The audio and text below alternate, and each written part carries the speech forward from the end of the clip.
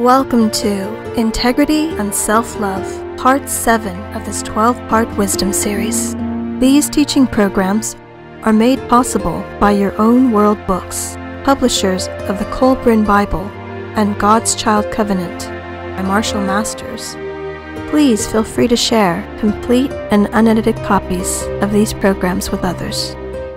For more information, visit virtualserenity.com.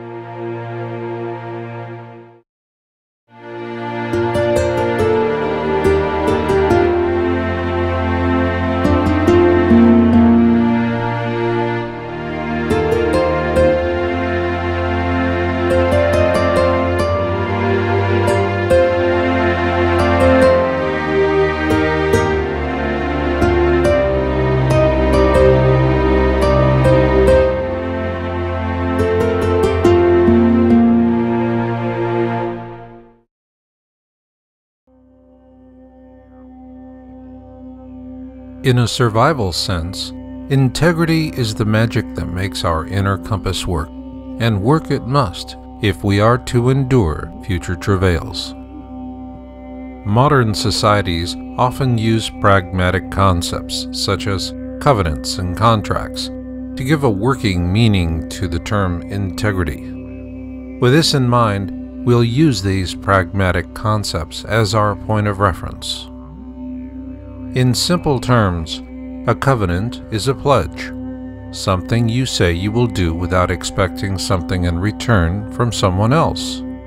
You could say that a covenant is essentially an unconditional promise, such as when two people pledge their undying love to each other. A contract, on the other hand, is something you promise with an expectation of return. Ergo, contracts are conditional, which explains why they rely on pragmatic language such as caveat emptor, buyer beware, or in other words, read the fine print before you sign on the dotted line. To make these two pragmatic concepts work, we keep them separate from each other as much as is humanly possible. But what happens when they do collide? Well, imagine that someone has given you a covenant of his or her undying love, and then asks you to sign a one sided prenuptial contract. Is this true love? Not really. This is because true love is unconditional. Simply put, it is what we do for others with integrity and without expectation of return. Even so, there is a cosmic return that transcends any material expectation, because integrity is the ultimate expression of self love. This is why it flows within us, like a perpetual wellspring of psychological and spiritual stamina. A harmonious balance of true love and integrity attracts the loyalties of others within small survival communities. In these pressed circumstances, justice will be swift because your deeds will judge you, and there will be no lengthy appeals. This is because others will quickly see your integrity, or lack of it, and they will not be dissuaded. They will trust your wisdom and know that your word is your bond, or not. This is why these teachings of the Elohim are so vital for 2012, a time when love and integrity will be the very stuff of survival itself.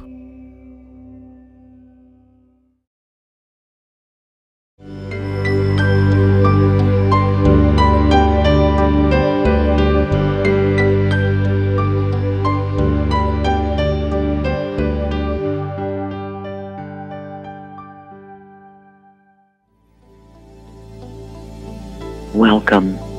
We are the Elohim. Today we will talk to you of integrity, truth, and responsibility.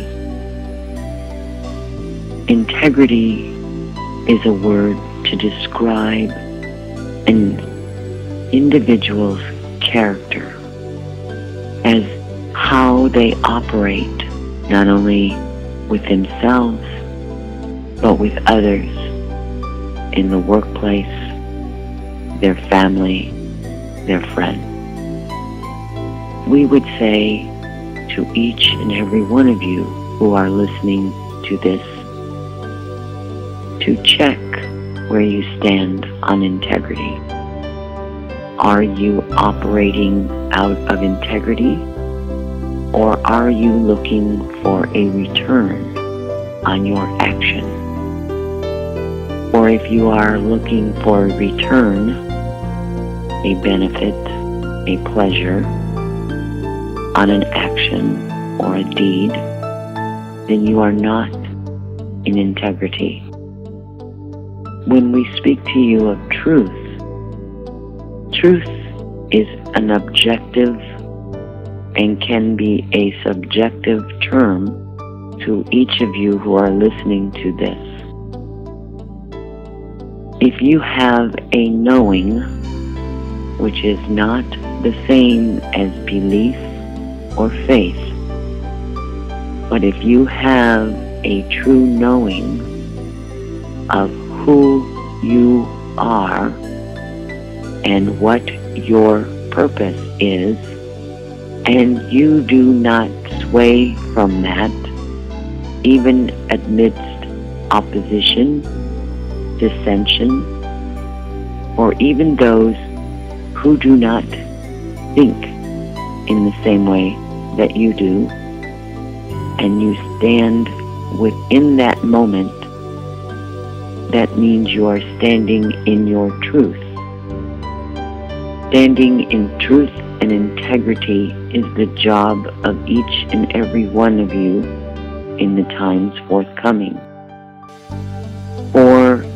The times get more chaotic, more confusing, more violent, more upsetting, there will be many who will tell you what the truth is.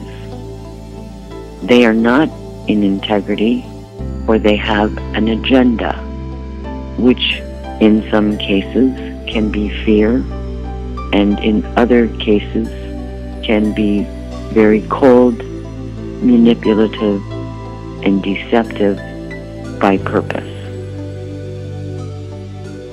There comes a responsibility that each and every one of you must take to yourself and that is to check if you are in integrity. Check if you are standing in your truth. And let it sway you not. Others' opinions, actions that they may take upon you, whether it be physical or verbal. But when the time comes, you must be in your place of knowing, which is your truth, and stand in the integrity. We thank you.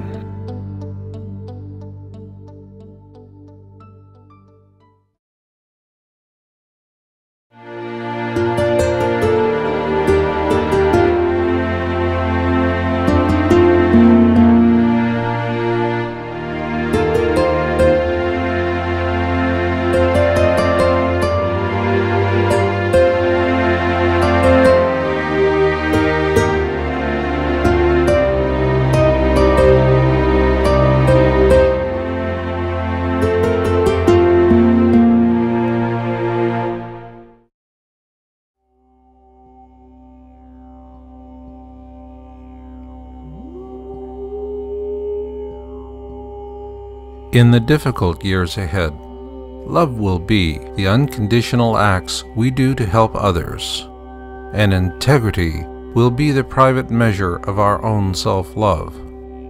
There will be no fine print, lengthy contracts, or midnight deals struck behind closed doors. None of this shall matter when there is no time for human foolishness only the time for that which works to the betterment of all. If you say, I love myself, then examine your integrity. Look hard enough so it can stare right back at you, and then you will know it for what it is. Understand your own integrity and you will know if you are expressing unconditional love for others as a true person. Be a true person, and you will be dearly loved. Be otherwise, and others will quickly marginalize you. Should that be your fate, you may wake up one day to find yourself all alone, with nothing but your lack of integrity to keep you company. This will be the cost of dishonesty in 2012 and the years beyond. In the next teaching, we will come to understand the true relationship between love and fear.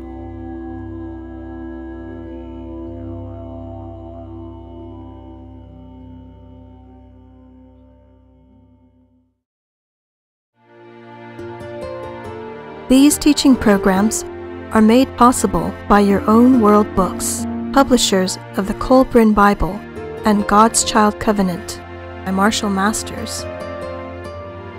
The Kolbrin Bible is a two-part wisdom text. This secular anthology offers the wisdom of hundreds of ancient authors, and the many harbinger signs of their prophecies are now converging on 2012. God's Child Covenant is a romantic action drama set against a global tribulation. It offers a realistic yet hopeful vision for the future because 2012 will be less about what is in your bunker and more about what is in your heart.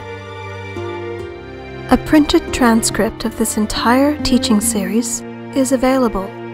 For more information, visit virtualserenity.com.